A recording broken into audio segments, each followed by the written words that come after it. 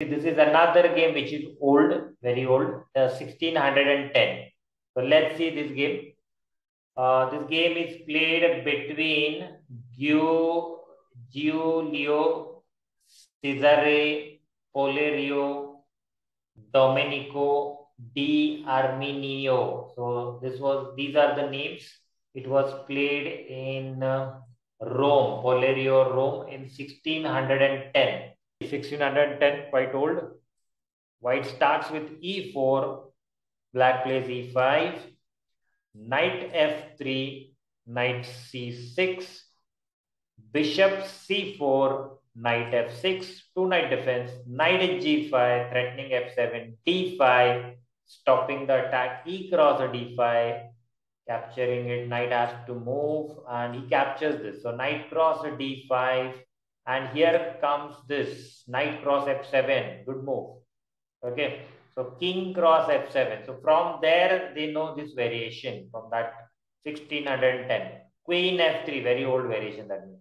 And now if you move behind, you're losing the knight. So to save the knight, you have to go here. King e6.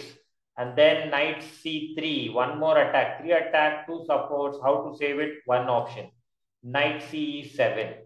And then you have to now open the center to attack the king. So d4 opening the bishop, attacking the thing, attacking the pawn, which is, you know, guarding the king. c6 giving one more support. Bishop g5 pinning the knight. So one support is less, you can say, uh, to this knight on d5. Okay, because uh, if you see this is pinned, then the problem is over here. Okay, this is in trouble. Right now, there are three attack, one, two.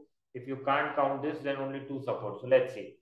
H6, attacking the bishop. He says, okay, I'll take it. Bishop cross E7, bishop cross E7, and then long castle. So white is preparing to attack on this king. Very, very uh, good uh, with all the pieces rook f8 attacking the queen. Queen has to be moved saved.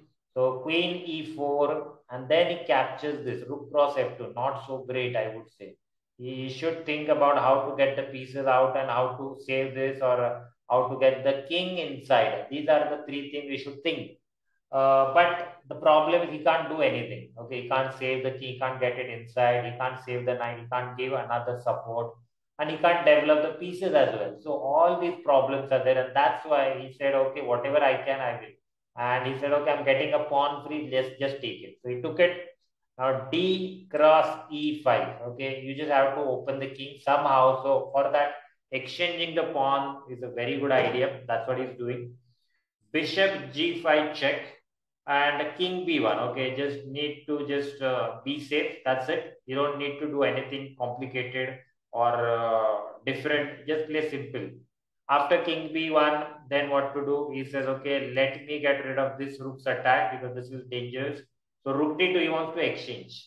He says, okay, you want to exchange, you exchange. I'm not going to exchange because if I take your piece is coming there and making attack on my another piece, I don't want that. Instead, if you take it, I will get my piece out okay, which was doing nothing here and it will attack. So I'm happy with that. So, and if you don't do that, I'm going to take this. And if you move the bishop back, then I'm getting this rook for free. So these are the threats. And that's why he has to take it. So rook cross d1, rook cross d1, and then bishop cross h4. But now there are more attacks on d5 than the supports. So the d5 knight is weak. How many attacks you can count? One, two, three, four attacks, and only one, two, three support. So that's a big, big problem. What to do? Take advantage. Knight cross d5, c cross d5. And now you have a choice to take with the bishop and give direct check or to give a threat, indirect threat, which is dangerous than direct threat. So rook cross d5, the threat is to move the rook and give a discovered attack on the king. Plus there is attack on the queen queen has to move. He moved the queen over here where it will be safer from this rook. Otherwise, the rook can go somewhere and attack on the queen. Now, he cannot capture his own rook, I mean, own pawn with the rook. So, uh, what to do? Rook d6 check. After queen g5, rook d6 check, king e7.